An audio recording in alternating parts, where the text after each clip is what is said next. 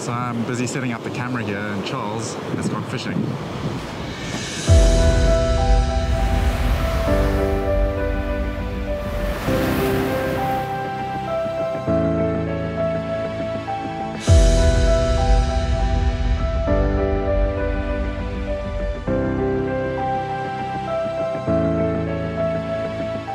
Dad, I thought you said we were going fishing, but you're not even in the water.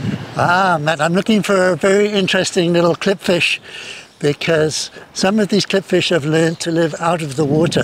What? So when the tide goes down, they actually hide underneath a rock and then they just sit there for several hours and then the tide comes in and they just carry on again.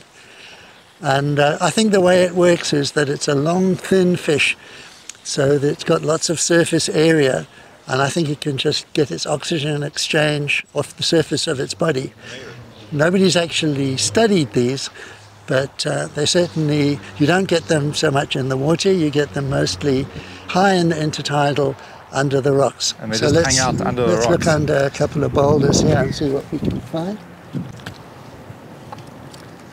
This is the right kind of area. Ah, here we go. Here's, here's two of them here. Look. So this is the nose stripe klipfish. It's one of the smallest species and it's very long and slender. There's a big surface area and a tiny little mouth at the end. And this species is adapted for living for several hours of each tide out of water. So it actually retreats under these boulders in the mid to high intertidal zone when the tide goes out and then it stays cool and moist there and it can just hang out there. I mean, its metabolic rate is quite low. It stays still, it probably getting enough oxygen through the, the moist surface of its body because klipfish don't have scales. And it can get its oxygen and it can hang out there, safe from its predators. And when the tide comes in again, carries on with life. I was going to say, it's probably a good anti-predator, you know, nobody's going to lift his Yeah, because they're so- small little fish, Yeah. so they're quite, uh, you know, quite vulnerable to predation.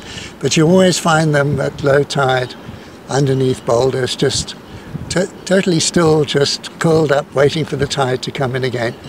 And at the level that we are here, they're going to be out of the water for maybe four hours, five hours during a, a low spring tide. So quite unusual for fish. A fish out of water. I'll, I'll put him back there because he has to be sheltered underneath the rock. If he's in the sunlight, he won't be happy. No, they don't like that. So by far the most diverse and abundant rock pool fishes that you get in the Western Cape and the whole cooler part of the country are little klipfishes. So this is a family of fish that's almost entirely endemic to South Africa. And klipfish are an amazing example of what biologists call adaptive radiation. That is that you can imagine that an original klipfish arrived and there were all these different environments to occupy and nobody was using them. So the klipfish diversified into a whole lot of different body forms. And we now have over 40 species in the Western Cape, almost all of which are endemic. And then they're all specialized for different habitats. They all have their So little some, niche. they all got their special little Yeah. niche. Some occur on the south coast and towards the east. Some only occur on the west coast. Some occur higher in the intertidal. Some lower in the intertidal. Some in the kelp beds. Some you'll only find among algae. Some live under rocks. Some even live out of water. Some burrow in the sand. Some have long noses and tiny little mouths for eating tiny little prey. And some have got big wide mouths and eat big prey. And some have specialized, in fact, on eating particular things, like the cirri or, or the little legs or barnacles. What? So they all got their own specialized little habitat and so that they don't compete with one another. The poor barnacles. They grow them back again. Yeah, okay. okay, good. So let's take a closer look at the klipfish. We've caught a couple in this rock pool here. So I'm just going to take him out of the water for a moment to show you the features. And these fish are very well adapted to living out of water, so it's not going to harm him at all. And in fact, they also don't have scales, so his scales are not going to get damaged. So let's just put him in my hand. And the way you recognize these klipfish is that they're bottom dwelling fish, so they don't swim up in the water column. They sit on the bottom, and their pelvic fins, the front fins, their arms basically, are adapted to just have two little rays. So it kind of sits up Little on the bottom, sits up on the sea bottom and looks around with its big bulgy eyes and holds itself up by these little pelvic fins. And they can actually walk with those fingertips. And that distinguishes them from most other families of fish. The larger fins that are out to the side, like wings, those are the pectoral fins. And another real weird thing about klipfishes is that they're live bearers. Oh, They give birth to live young, they Yeah. don't lay eggs. This is a female. So the male klipfishes have a penis, and the penis in each species is different, so they're like a little key and lock. So the key is the penis, and the lock is the female, and only the right male with the right key can mate with the female of the right species. And then the eggs are brooded within the female's uterus, within her body, and she gives birth to little tiny klipfish that are one or two centimeters long. cute. And a really amazing adaptation about this reproductive mode is that the female actually can brood several different broods of young at the same time, Like different ages. different ages. Yes. So in her uterus, she can have eggs that are just starting to develop, and other ones that are a few weeks old and are, have little yolk sacs, and others that are completely ready to, to, to, to emerge, so that she can keep pushing out young all the time and take advantage of all the opportunities that present themselves. Amazing. When I'm walking in the rock pools, I notice they're often following behind me, picking up the scraps. Is that what they eat? Do they just scavenge around? So most klipfish eat a variety of different uh, small invertebrates, little crustaceans, little mollusks, and polychaete worms, and so on.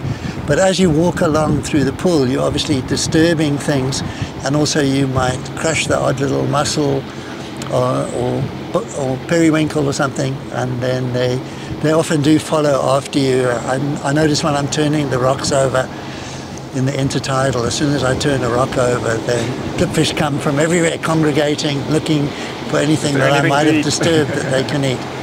But they're all carnivorous, and uh, but they most of them have fairly wide diets. There's just one or two that are specialists. And I've seen like the herons fishing for them in the pools. What else eats them? So klipfish are nice, tasty little morsel-sized things, and a lot of larger fish eat them. Ah. And then things like octopuses would also go for them. But seabirds, I think, uh, like herons and cormorants, are probably their most important predators. And in fact, you'll see kingfishers sometimes on the seashore hovering over the rock pools and diving down and grabbing them. But they're definitely they're forage for a lot of things. So when you're down on the seashore, just take a, a more careful look in the rock pools and you'll often find several different species of klipfish and they're quite fun, they're very interactive. Some of them are very tame, they'll come up and investigate your feet. If you put in a little bit of food, like a crushed mussel or something, they'll come and eat it. And you can see them all interacting. So often the bigger ones will push the smaller ones aside and snaffle the food. And you can see the males and females interacting. I've actually seen them mating quite a few times. So it's like being at the waterhole in the game park, but on a micro scale.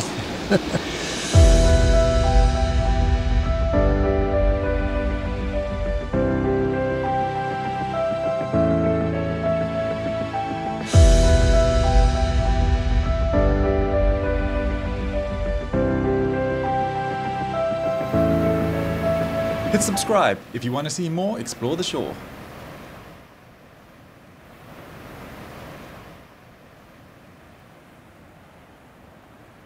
Cool. And then can I just see your impression of a of a klipfish sitting on a rock quickly?